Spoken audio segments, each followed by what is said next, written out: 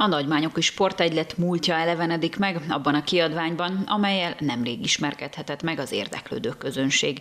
A könyv az egykori bánya és körorvos Dim János feljegyzéseinek gyűjteménye. Az egylet egykori alapító tagja szívét, lelkét beleadta, hogy a jövő nemzedéke számára megőrizze az 1932-ben 36 fővel indult egylet akkori meccseinek minden egyes pillanatát.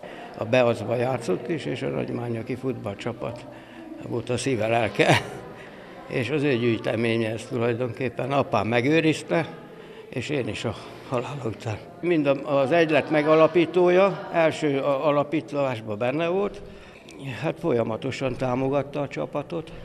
Volt egy olyan is, hogy például a Buzászkit szerződtették abba az időbe, ide jött egy rövid időre, hát a bánya vezetőség nem találta megfelelőnek, és és akkor így, így, így a Buzárszki bekerült az aranycsapatba. Ez később ez, egy mondta is egy riportba, hogy megköszöni a nagy bánya vezetőségnek, hogy, hogy nem tartották itt, mert így a dorogon keresztül bekerült az aranycsapatba. Hát sok ilyen emlékek voltak, amit így pici koromban hallgattam.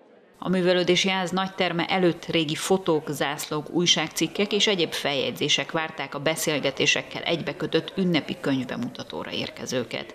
A szerző aprólékosan számol be a könyv lapjain minden egyes meccs történéséről. Leírta a saját véleményét minden meccstől, hogy ki volt a jobb, vagy csart a bíró, vagy, vagy, vagy hogyan alakult a játék, és ugye megjelent az eredeti újságcikk, akkor az nem mindig egyezett az ő véleményével, vagy csalt a bíró, vagy, vagy kinek fújt a bíró, és akkor ezt ő saját kézi erővel az ki, ki, kiigazította.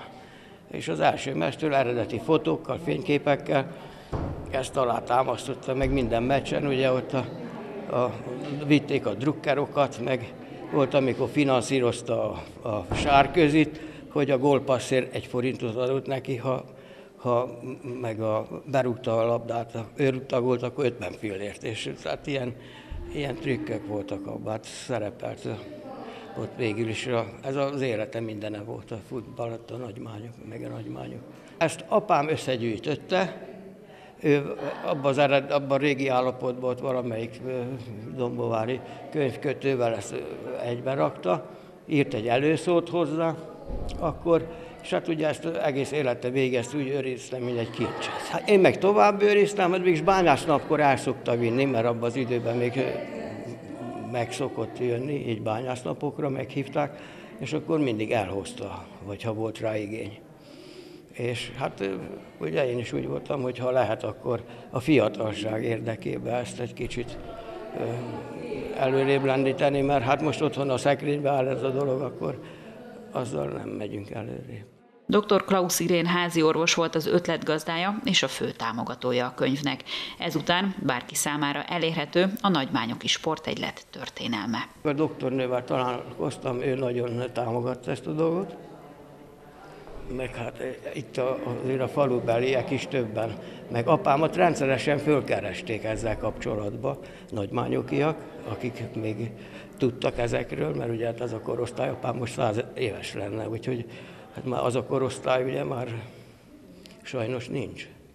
Meg mi meg hát így unokák már, ugye, már mi is hetvenkedünk, de már, már azért nem tudunk annyit. És ez így ez a könyv ez megőrizte ezeket a dolgokat. Dimb János Jenő unokája abban bízik, hogy a jövő generációjának ösztönzésként szolgálhat ez a nem mindennapi könyv.